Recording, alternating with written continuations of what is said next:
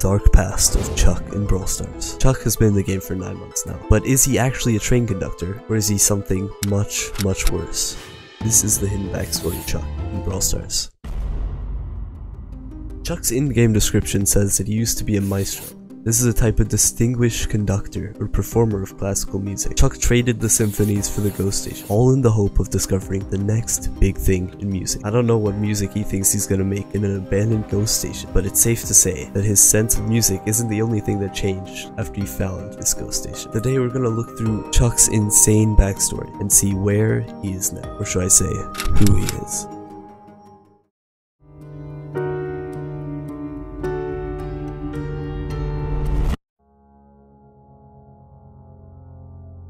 Some people think Chuck himself is a train because of the way his super works. He places on posts and then dashes between them to run people over. The truth is a little bit different. If we take the time to look through Chuck's brawler model not so closely, we can see that Chuck is actually in a wheelchair. This gives us a possible answer to why Chuck actually quit being a conductor for a symphony. Being in a wheelchair made his life unnecessarily hard. He had to climb the stage stairs, and not being able to stand up made it hard for the symphony to see him when he conducted them.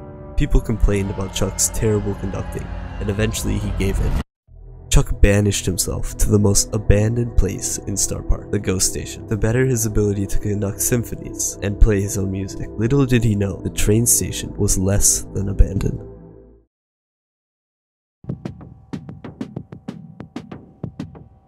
But what were these problems? Gus is the other member of the Ghost Train trio. I'm not going to go into depth about Gus's full backstory, but basically, when Gus was released, his in-game description was this, calling an abandoned train ride home, Gus loves balloons. As legend has it, one day he followed a balloon dog too far, got lost, and has been there ever since. Gus was just at Starr Park with his parents, got lost in the ghost station because he chased a balloon dog too far. This dog is now his best friend Spooky, which he uses as a super to shield himself and his teammates. Many people believe that Gus is dead because of his description, and his ghost haunts the Brawl Stars ghost station. This was until Brawl Stars randomly changed the in-game description. They changed it to this. Gus looks so much like a ghost child that he's often mistaken for one. Perhaps fittingly, he's an enthusiast of all things supernatural, since he's too innocent to be scared. The only thing that this new description changed is that Gus is definitely not dead, right?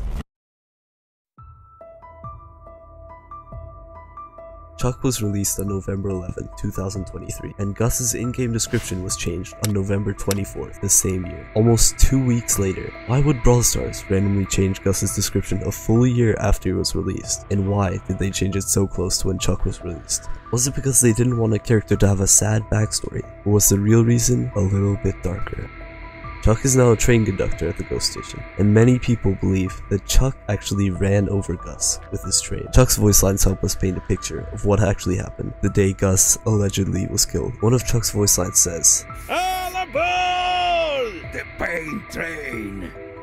Another says, Attenzione! which in Italian can translate to, watch out. Another one of his voice lines says, Prossima fermata, ospedale! which in Italian means next stop, hospital. All these voice lines together tell the story of Chuck running over Gus with the train, starting with Chuck getting on the train, then seeing Gus on the track of what he thought was an abandoned train station. When Chuck saw Gus, it was already too late. As it turned out, there wouldn't be a next stop for Gus at all. But why would Brawl Stars try to hide this? They changed Gus's in-game description making people think he's still alive. And why have you never heard of this incident?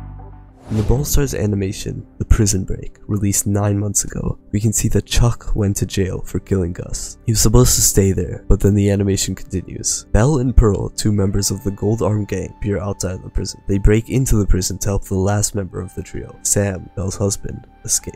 This leads to the two other prisoners escaping too. These prisoners are Bull and Chuck. You already know why Chuck was there, but you might not know why Bull was. In the Mystery of the Hub season, on March 6, 2023, Alley Cat Bull behind the kidnapping of one of the most popular brawlers, Spike. He ended up getting caught by Detective Gray, who, with the help of the newest brawler RT, found out what Bull did and brought him to justice. After Chuck is released from the prison, he instantly starts chasing all the other brawlers in the animation. After this, Chuck isn't seen in any other animations on the official Brawl Stars channel. But what happened to Chuck?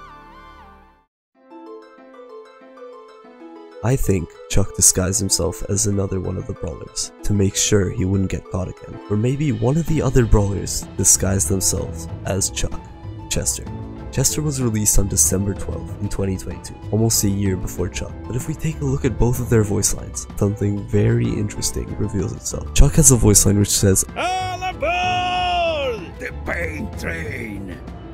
And Chester has a very similar voice line that says, All aboard the pain train! Woo woo! we also look at both of the brawlers, they look very similar, with only slight changes in facial structure. Chester could have easily disguised himself as Chuck just to kill Gus, then disguise himself back as Chester. But why would he do this? Was this another one of Chester's little pranks that went wrong? Or is there a more sinister motive behind the murder of Gus? Thank you guys for watching. My name's Chiwawa, and if you're new to my channel, it would mean a lot if you subscribe. It's completely free, and I promise you won't regret it. Make sure to share the video to whoever you think would find it interesting. On the screen is the playlist of all the other videos like this one. Make sure to watch another video so YouTube knows to recommend my channel to other people just like you. Bye.